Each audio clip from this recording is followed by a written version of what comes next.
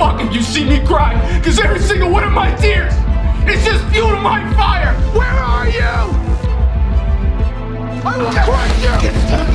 Stop following me! Do not cross me or my family! I don't think there is such a thing as second chances anymore.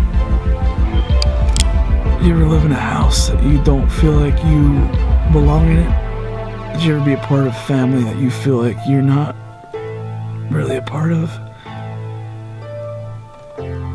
Did you ever do things that you're not really proud of?